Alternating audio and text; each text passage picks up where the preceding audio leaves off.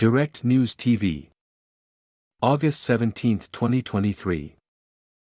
Hurricane Hilary to dump heavy rain on Mexico, southwest U.S.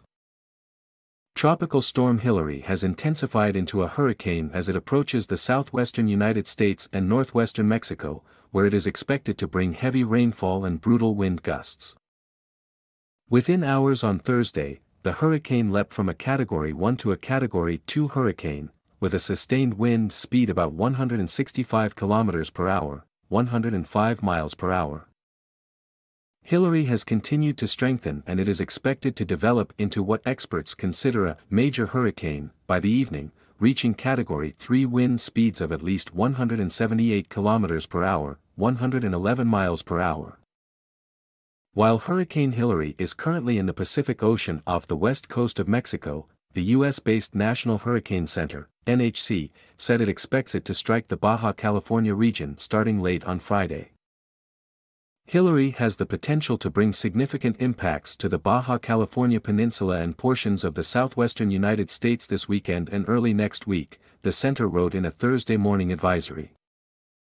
Hurricanes typically weaken after landfall, but the NHC warned that Hilary could produce flash flooding even afterwards, particularly in urban areas and arroyos, dry stream beds in desert environments that can quickly fill with water.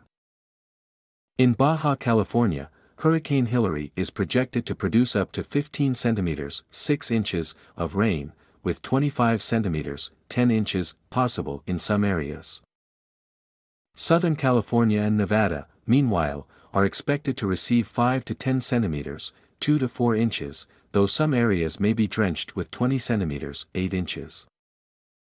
Experts have credited climate change with supercharging hurricanes in recent years. Warmer weather allows more moisture to fill the air, allowing hurricanes to produce more intense precipitation as their spiraling clouds draw vapor in.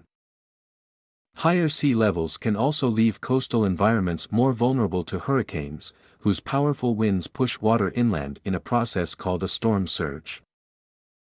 On Wednesday, the journal Science Advances released a study examining 179 tropical cyclones in the U.S. across 32 years, from 1988 to 2019, to understand how these increasingly intense hurricanes affect public health.